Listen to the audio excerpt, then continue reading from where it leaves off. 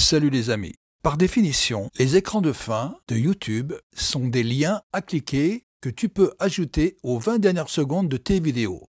Ils invitent donc les internautes à effectuer une action de lien.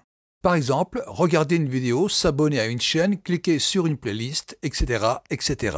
Je vais t'expliquer comment faire pour rajouter un écran de fin à tes vidéos. Je vais sur la page de mes contenus et je choisis la vidéo dans laquelle je vais ajouter un écran de fin. Et je clique ici, écran de fin. Me voilà donc dans le gestionnaire d'écran de fin. Et moi j'appelle ça des plaquettes. La première, tu peux importer à partir de la dernière vidéo. La deuxième, tu peux ajouter une vidéo et un élément de s'abonner. La troisième, tu peux ajouter une playlist, un élément de s'abonner. Et la dernière, tu peux ajouter deux vidéos mais tu peux composer toi-même ta plaquette. En cliquant sur vidéo, j'ai la dernière vidéo mise en ligne. Mais je peux en changer en cliquant par exemple sur sélectionner une vidéo spécifique que je vais aller chercher. Je peux également, si je le souhaite, ajouter une playlist.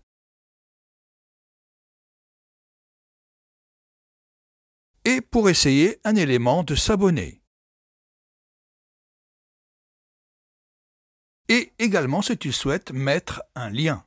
Mais fais très attention, tu ne peux pas utiliser les liens externes pour rediriger le trafic vers différents domaines. Le non-respect de ces règles peut entraîner la désactivation de la fonctionnalité et ou la clôture de ta chaîne YouTube. Je te conseille de bien lire les conditions d'utilisation des liens externes. Et tu cliques sur J'accepte. Et c'est ici que tu ajoutes le lien sur lequel tu veux que les internautes cliquent.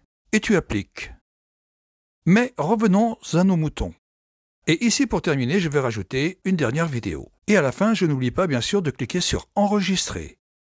Je vais bien sûr aller regarder à la fin de la vidéo que j'ai mise en ligne pour voir si mon écran de fin y figure. Comme tu peux le voir, il y figure 20 secondes avant la fin de la vidéo. Et je vais cliquer sur le visuel de la vidéo d'où je veux aller. Et voilà. Ainsi se termine cette vidéo, j'espère qu'elle vous a plu. Merci de me suivre, à bientôt sur la chaîne. C'était René Duranty.